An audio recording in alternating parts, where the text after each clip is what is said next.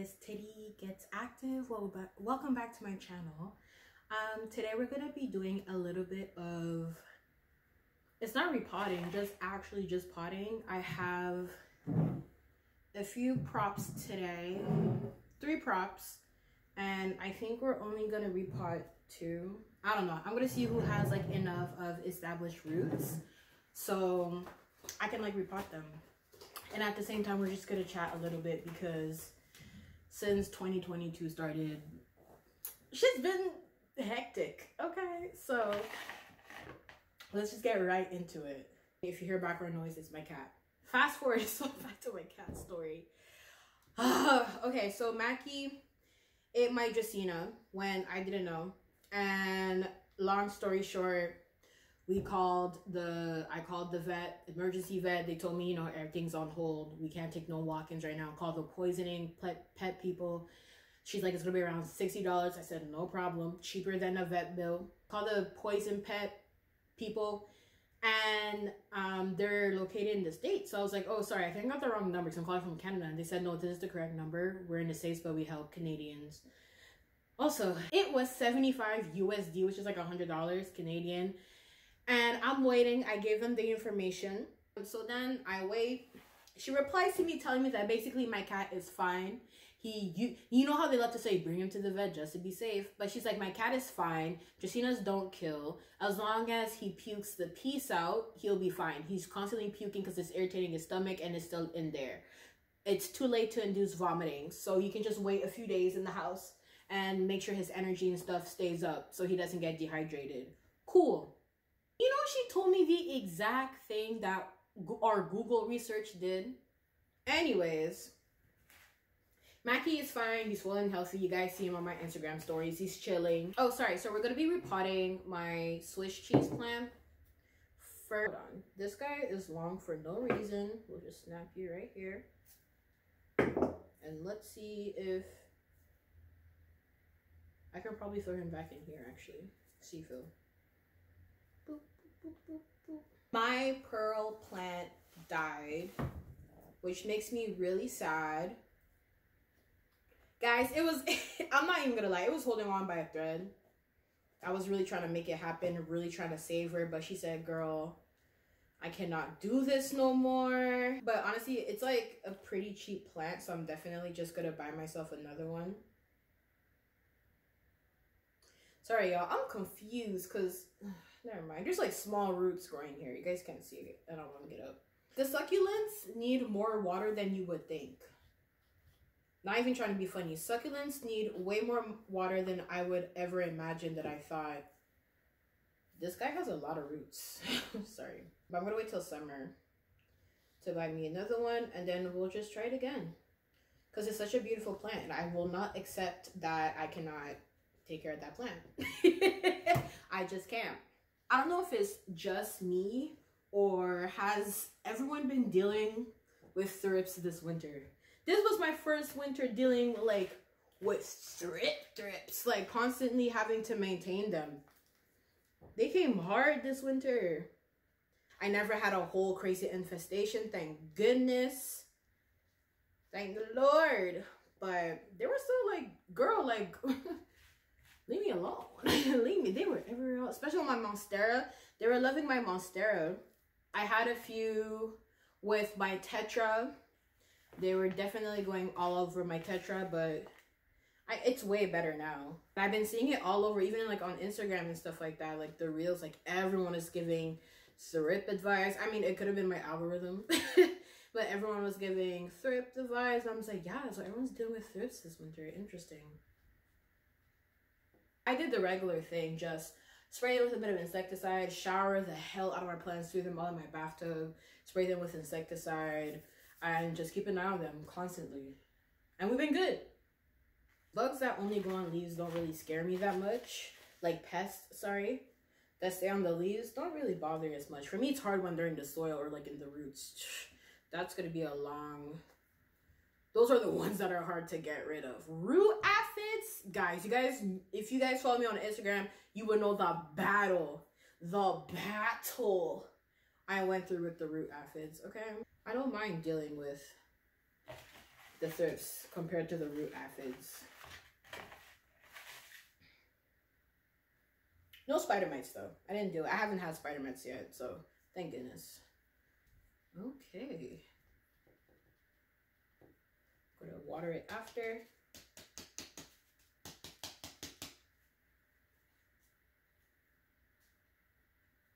We have the little, it's not cute, but we have a little cheese plant. And then these guys are just gonna keep trying to reroot. I'll just change the water.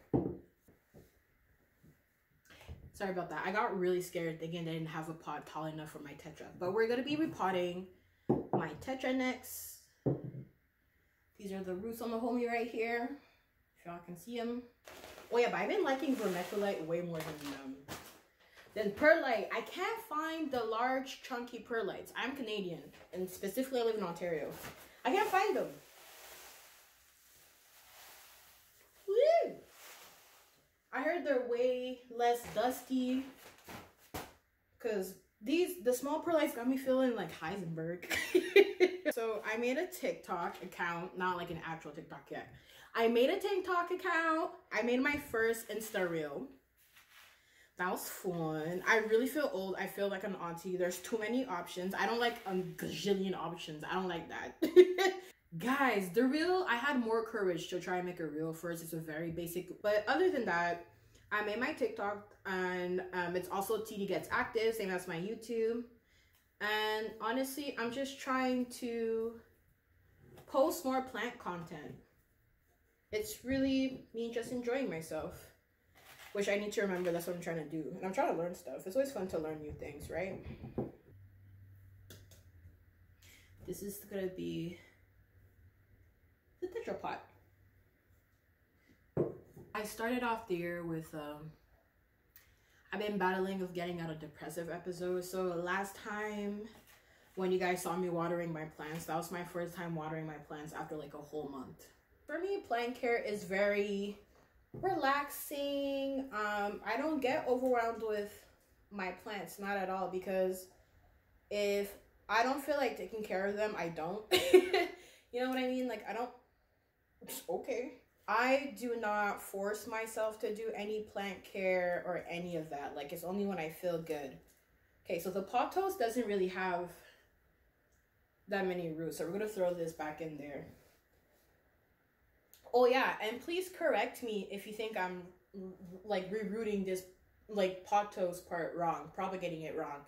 Cuz I kept the whole whoop, I get the whole I kept the whole thing. Whoop, sorry. I kept the whole thing so that like I could see how much like nodes would push out the most roots. I do also deal with like mental health and stuff like that. I mean, who doesn't, especially since the pandemic. If I'm not in my right place of mind, I don't do plant care. I don't force myself. I don't know. Like whatever happens, happens. And I'm gonna just when I'm back in my right place of mind, I'm gonna catch up and do what I gotta do. This is the cute little ivies. This is my first time propagating ivy plants.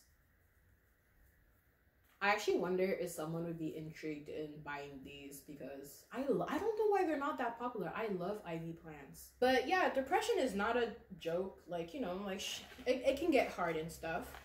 But at the end of the day, I see videos where they're like, you know, there's some people that are, um, is this pot too small? I guess we're using a cup. Our old jar. Um, it's the tallest one I have. Everything I have wider pots, but I don't have, you know, like long, like higher pots. Don't be sacrificing your mental health for plants. I'm gonna just say that. I'm not gonna lie, for y'all that be buying nine thousand, ten thousand dollar plants, I don't know that I don't know. I don't know if you want to take my advice unless your wallet is looking is nice like that. Plants are supposed to boost your mood not destroy it.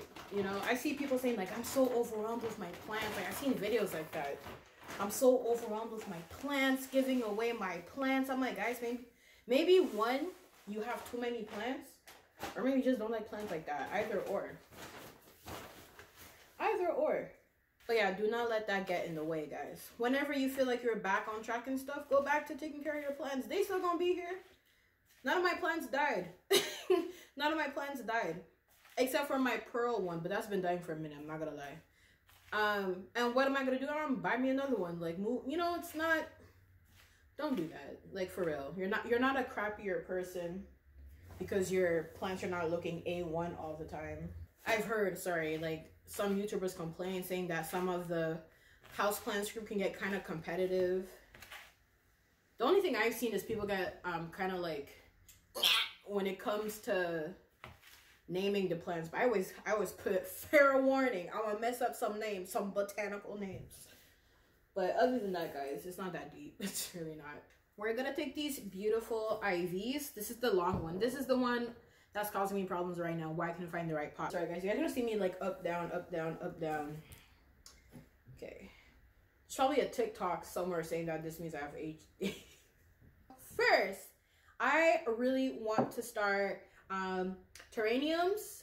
Um, I blame Banshee Plant for having me very interested in them. I was always in love with like cabinets and stuff when people put their plants high humidity loving plants and cabinets sort of like art pieces because I see that as art to be honest. It's so cool how when you like close the lid you never have to touch it again. That's very interesting to me and it's a cute little world and I have a few ideas in mind. I really want to do that. I think that'd be very cute.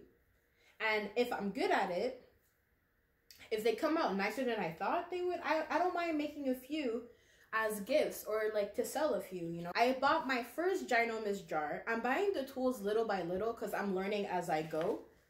I find that easiest. So whenever I have a little bit of money in my pocket, I just buy like an extra tool. Finding moss. I can't find me no moss at all. I want to try doing that whole growing moss where he's like reviving it by rehydrating it and stuff like that.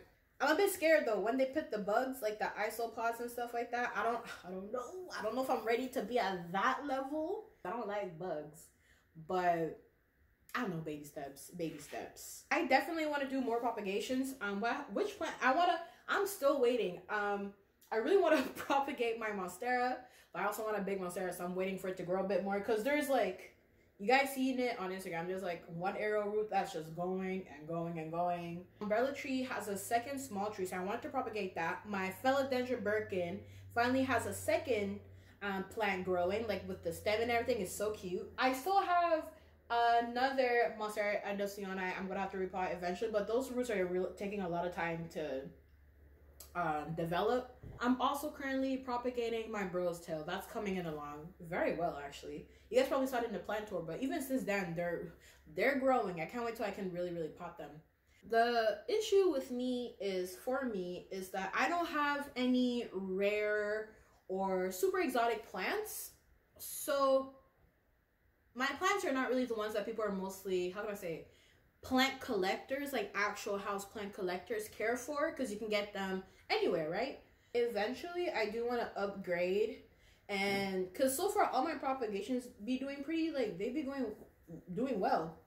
I want to eventually maybe you know bump it up and try to buy a bit more uh pricier plants. I'm not gonna say expensive. I to say pricier, just so they have you know the more aesthetic pleasing ones that more people might be interested by. Because i'm gonna keep propagating right? And i don't want to just keep having propagations all over my house. I just don't want the same plant like seven times. I'm gonna film my first plant shopping videos. So taking you guys with me when i go buy more plants i want to visit because there's not there's not a lot of plant shop videos for the gta area so i would have liked to do that. There's a whole youtuber that opened a shop downtown. What's his name crazy plant guy from Toronto. Um, it was really cool finding like uh, plant YouTubers from the city, like film going there. You know, if he's like comfortable with that. Or there's one. It's not Ajax. There's another one in Toronto. I forgot the name. It's like Toronto, Borderline, and Etobicoke. It's huge. They have outdoor options, indoor options. They're there all year. during summer they have the summer plants outside. During winter they got christmas trees outside. You feel me? Like those type of nurseries. And i actually never been to a nursery like that before. So that would be very exciting. Because you know i want to like take my time look at the plants buy some plants.